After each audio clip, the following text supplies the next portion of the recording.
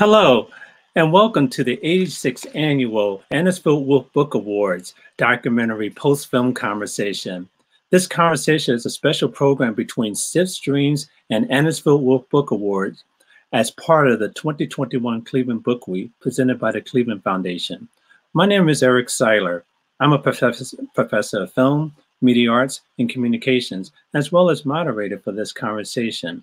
We are pleased to be joined by two people from behind the scenes of this um, great documentary. First, we had the producer uh, of the documentary, Mary Fecteau. Mary Fecteau joins us from um, IdeaStream Public Media. Hello, Mary, and welcome. Hello. It's good to um, have you here. Also, we have um, an associate producer on the documentary, Shelli Reeves. Hello, Shelli, and welcome. Hello. Oh, it's great to have you both here. Uh, this documentary was produced by IdeaStream Public Media, uh, which is the um, public broadcasting station in Cleveland, Ohio. And uh, they uh, do a lot of fantastic work for the um, community and the area. But Mary and Shelli, how did you two get the honor to work on this documentary? Did you have to put in a pitch, a bit? What did you do to get this role?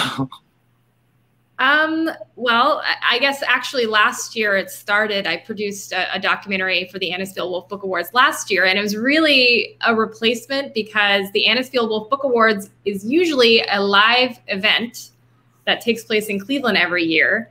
But uh, last year, of course, because of the pandemic, um, it, that live event was canceled.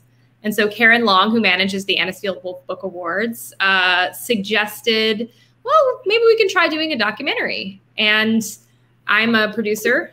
I do uh, video work at IdeaStream, and um, a lot of the video work I was supposed to be doing last summer ended up getting canceled. So uh, I was available, and uh, I produced last year's show. And again, it was pretty unpredictable with the pandemic. So I, I think they wanted to have a, another documentary in place started just in case. Um, and yeah, got to produce this one. And this time, I had the joy of having uh, Shelli join me on the on the road. Well, that, that's great. Um, Shelli, I know you work in community engagement at, at IdeaStream Public Media, but uh, how did you get paired up with Mary to produce this documentary? Yeah, so last year, Mary did this completely by herself. She flew everywhere. She did the editing, she did the filming, as well as interviewing everyone. And so this year, the idea that I could come and help, and I might have laid a couple of seeds and tried to encourage people that maybe I would be an asset to this project. But really, that is how I ended up on the project. Mary needed a little bit of help, and I had a little bit of time.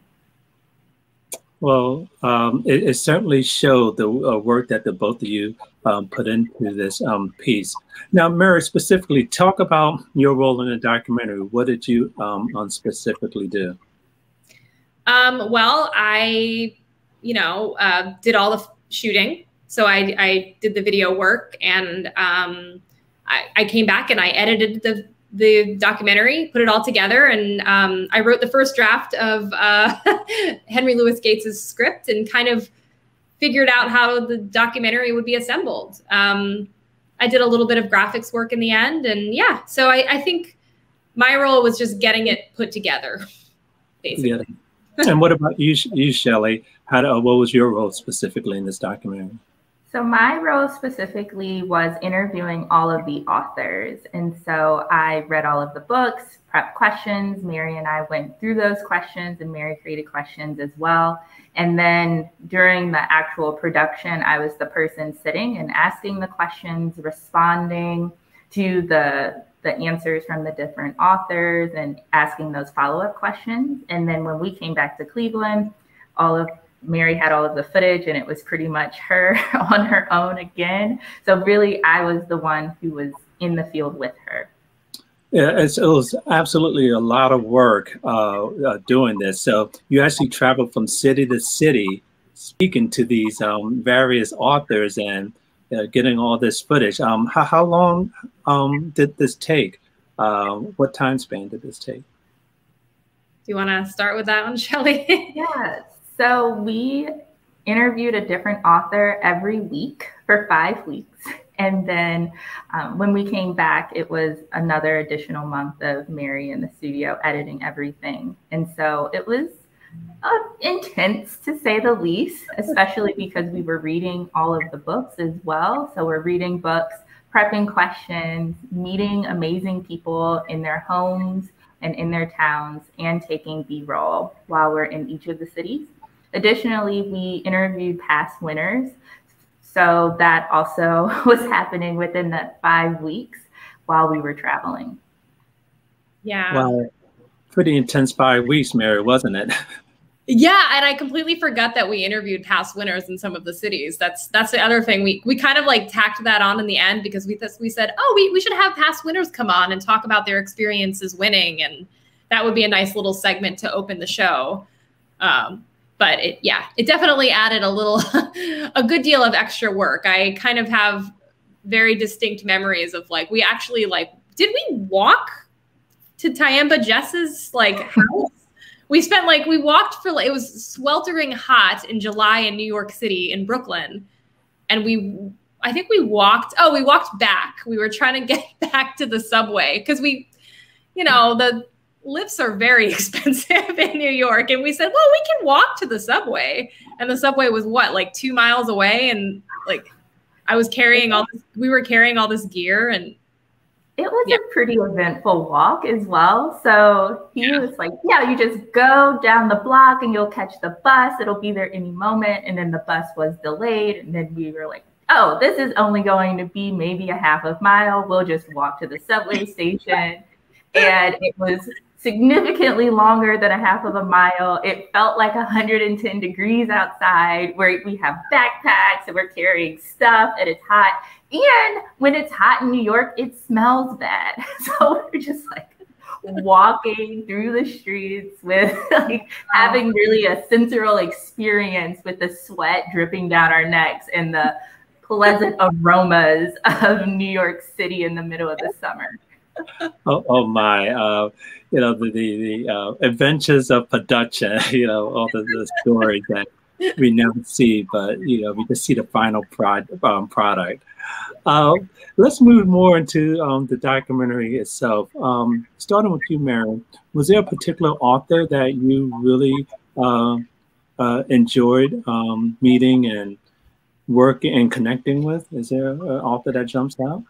Oh yeah, I mean it, it's hard because I really did like them all, and I especially loved all their books. Um, I personally really enjoyed um, the poets. So uh, Victoria Chang and uh, Natasha Trethewey were.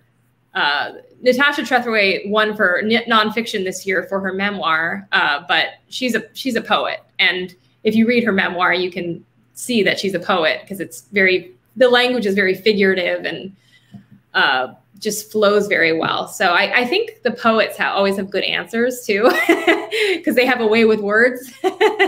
so uh, I think that might possibly be Shelli's answer too, and I might have stolen it, but I'm sorry. but that was my answer too. I, I think meeting Samuel Delany was an experience too. Uh, he's a you know a legend. He he's a legendary science fiction writer, although he he likes to say he doesn't write for any specific genre. But he was very interesting to meet and a really a guy. He's he's as kind as he is brilliant, which I, I think is says something about him. You know. And what about you, Shelli? Is there a particular author that stood out to you? Yes, Mary did take my answer. Sorry. As he was saying it, I was like, okay. But uh, both Natasha Trethewey and Victoria Chang, they were really interesting people to interview because of the length of the interview. So we had a lot of time to talk about their lives outside of just the books that they wrote. And as a result of that, Natasha Trethewey and I were both competitive cheerleaders in our past lives. And so we talked about cheerleading. And Victoria Chang, she gave us snacks and made sure that we were hydrated and we walked through her neighborhood. And so that is why those two interviews stand out so much, is just because I feel like I know them on a very personal level. And then Samuel Delany, it was delightful as well because we went over to the Philadelphia Museum of Art and just walked around the museum talking about some of his favorite pieces. And I was a museum educator for eight years. Walking around museums is one of the most comfortable places for me. And talking about art and some pieces that I've read about or I've studied that I've never seen, and see him talk about those pieces was just a moment that I really, truly enjoyed and am glad that I had that opportunity to talk to him about art. And so those were definitely some of the highlights. Um, although all of the authors are truly amazing and their books are amazing, but we had a little bit of a shorter time with others. So some good information there from both of you. Um, um, starting with you, Mary. Um, every production you both work on, you learn something from. What specifically did you learn from working on this production? I mean, this is a little intense reading the books, traveling to various cities and interviewing, you know, various authors. So obviously you learned a lot, but is there like one thing specifically you'd like to share with us that you learned? Wow. Um,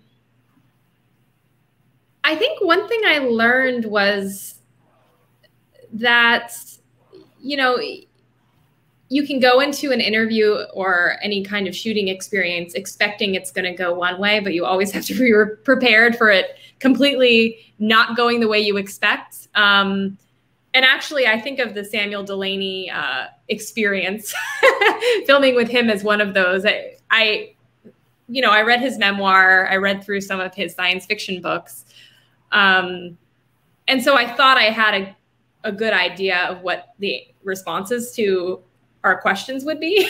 and he turned out a little unpredictable, I think. I think he was um, someone who, you know, he, he, doesn't have boxed answers. I think a, a lot of the writers are so used to talking about their books at this point, so they kind of have their answers down pat, you know. He's someone who kind of his answers were a little bit more unpredictable.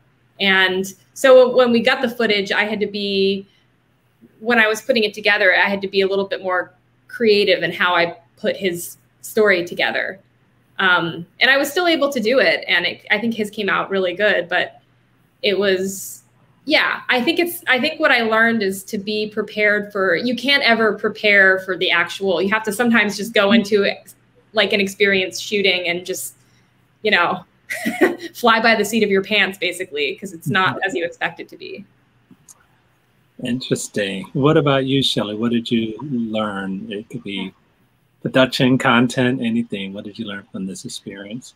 So this was my first experience like this. I have not been an associate producer, especially for an IdeaStream public media documentary. I am a community engagement specialist. That's my formal title at IdeaStream. And so on many ways, the entire experience was very new to me. Also, outside of IdeaStream, I do a lot of work focused on history and the history of places specifically. And so to travel to different places and talk to the authors about the the specific things that resonate with them, like Victoria Chang talking about what it's like to live outside of LA, or Vincent Brown pulling up maps on his computer screen and literally walking us through this is where the rebels walked from and this is where this battle happened was really eye opening to see kind of their relationship and see how they're translating the different topics and the different events into their books. Because, of course, I saw it there, but I didn't see the way that they were processing that information. Uh, IdeaStream does a lot for the community. And uh, what do you feel? I'll start with you, Mary. This um, documentary has done um, for the community, or will do for the community. Um, well, one thing it does is I hope it does is it, it it makes people more aware of the Anisfield Wolf Book Awards, which is it started in 1935. It's in its 86th year. And this is a big deal in the literary world. I don't think most Clevelanders are completely aware of the Anisfield Wolf Book Awards, but it's it's the only American book prize which is devoted to uh, books that address racism and cultural diversity.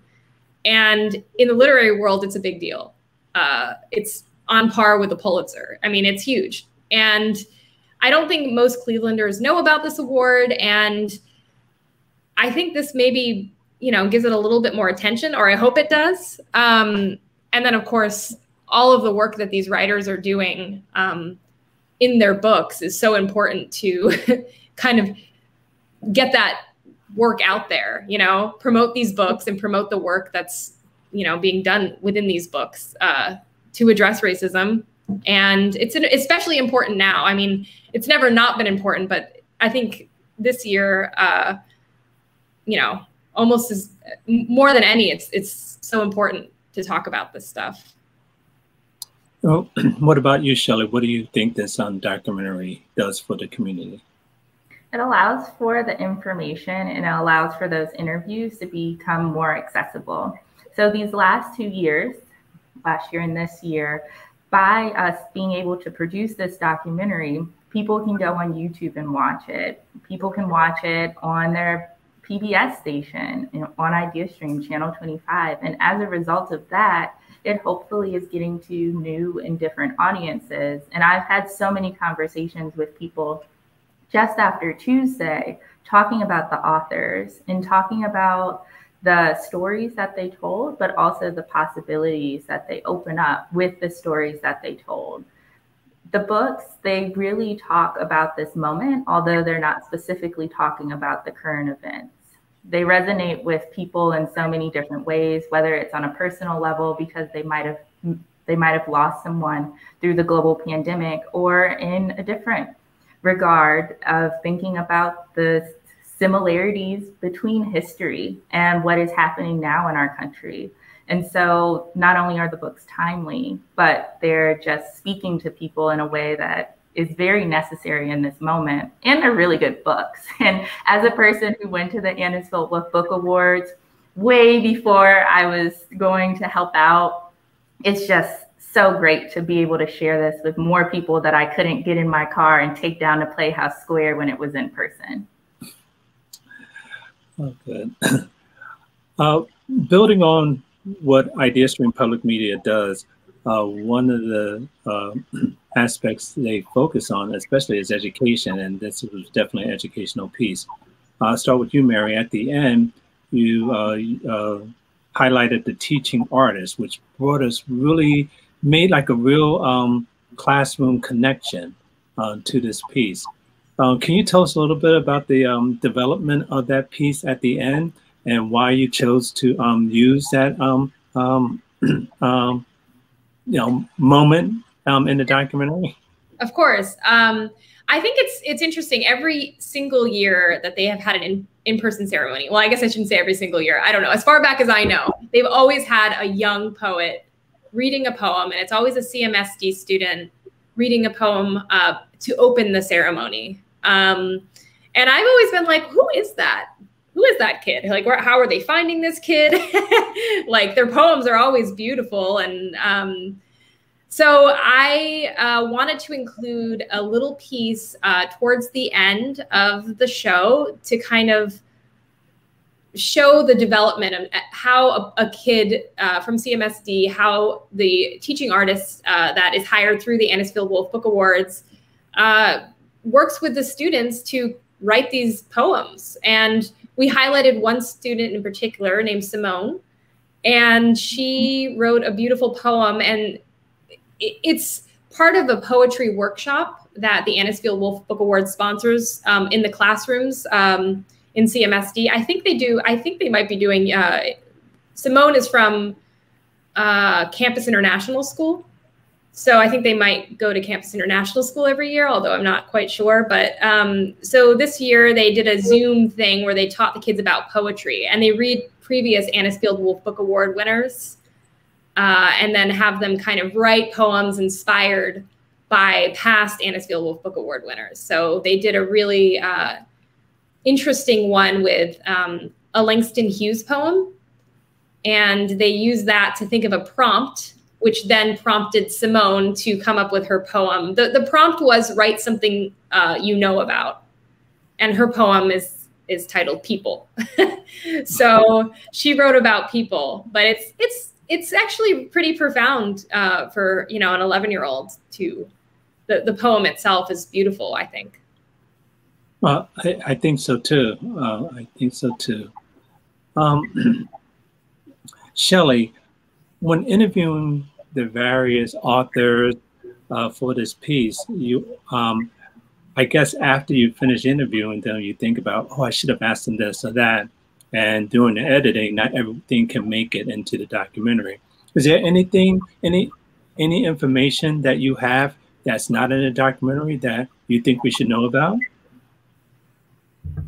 Yes. There's so many different things. And one in particular that I think about is with Samuel Delany. When we were walking around the museum, he was talking about an art piece and it was mesmerizing. It actually brought him to tears. And so he's sitting on a bench.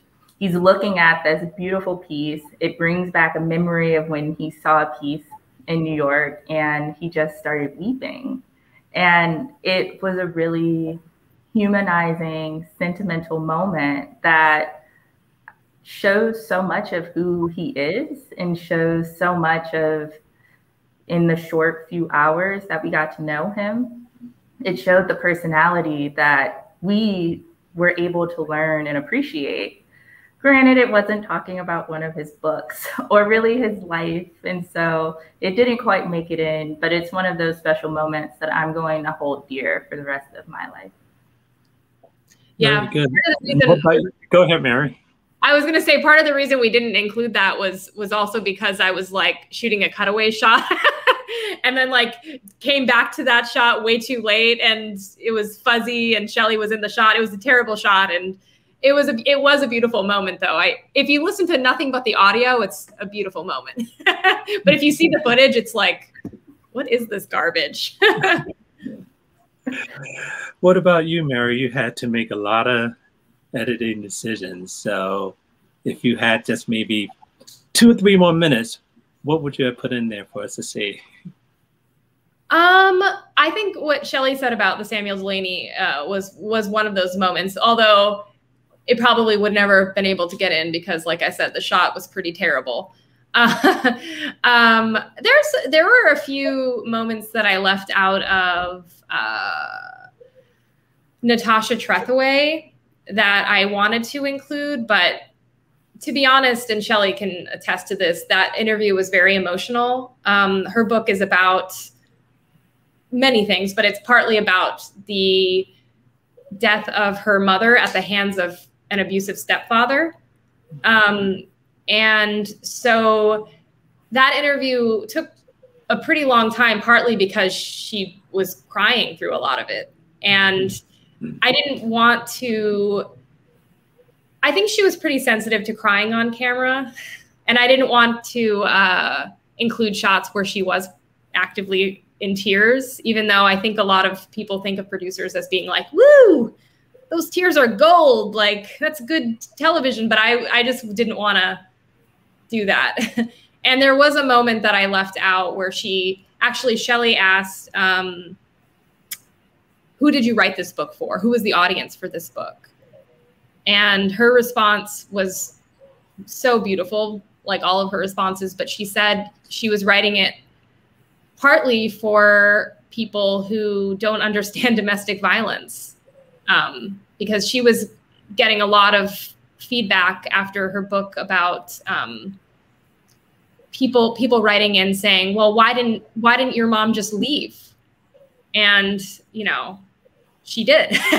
That's that's why he killed her. She she left and that's where the violence began. So that was one moment I, I left out mainly because she was crying when she was saying it and i didn't want to include it. Um, and uh, she also talks about it who else the book is for is for people who lost a loved one. Um, and that was a really beautiful moment that i wish i could have put in but i had reservations about doing that mm-hmm. Um, have any of the authors um, responded to the documentary so far? So, can you share any of the responses with us? I I haven't gotten any responses yet. Although I'm gonna, I haven't yet sent them. I wanted to send them an email with because I finally separated each of their each of their individual segments. Um, so I wanted to send them to the the artists or the writers personally and and see if maybe we get a response then. I'm not sure. Uh, I should have I should have been more active in sharing it with them specifically, but I didn't. so no. they, they, will see it eventually, and I, am yeah, sure they will. I feel like they're, they're busy, and they'll like get to it when they get to it. As we're coming to a close here, I'll start with uh, you, Shelli. Um, I know you uh, work with community engagement. You're working on a new um, project now that could probably have like some kind of similarities to what you just did. Can you explain that to us, what you're working on now? Yes. So I'm currently working on a project focused on racism as a public health crisis. And so with this project, we are partnering with different organizations to think about how we're really going to solve for racism as a public health crisis. Also, the health team is producing content that really is speaking to and helping our community understand how racism is interwoven within our system and specifically within the healthcare system. And I think some similarities is it's really both of these projects speak to and allow people to get a better understanding understanding of diversity and equity and inclusion and what that means in different fields and what it means and how it impacts our lives daily. Since the Anisfield Wolf Book Awards is really talking about topics of cultural difference within the different books, and at the same time, the racism as a public health crisis, connecting the dots is the official title of it, is also helping people to explore and understand sometimes cultural difference, but especially the impacts of racism in our community. And so that's where I see some similarities. Also, I think one similarity can be that both of them are really engaging projects and hopefully is bringing people in to not only learn, but to explore, and hopefully is a small window into another person's life that will make a difference for whomever is watching. Very good. Um, Mary, I know you're not working on anything big specifically, but I know you, you keep busy. But if you had a choice of your next big project, what would it uh, be? Ooh, I like this question. Um, I I really, I mean, I, I have to say, doing the Anisfield Wolf Book Awards kind of got me hooked on doing more long form uh, video or documentary. So I I think I'd like to work on a long form documentary project. Um, and I love the themes of the Anisfield Book Awards. I think they're so important. Um, so I I'd love to do uh, another long form documentary. I'm I, I'm also interested in doing podcasts. I'd like to try my hand at that because I think there's a lot of similarities in you know the things that I do, like long form documentaries and doing podcasts. I think I think I could be good at that. So something like that would be an ideal next project, I guess. Well, good. So hopefully the um, the, the powers that be are listening to you yeah. and they'll assign you to that. uh, real quick, both of you, if asked to do this again next year for the 87th um, Anisfield Book Awards, are you two all in? Or are you burnt out? Or it's like someone else have it? What do you think? Oh, I mean, I will. I'm all in. I think that's the simple answer. But specifically for me, I enjoyed this experience so much that often I'm like, Mary, propose something with me on it again. Maybe no.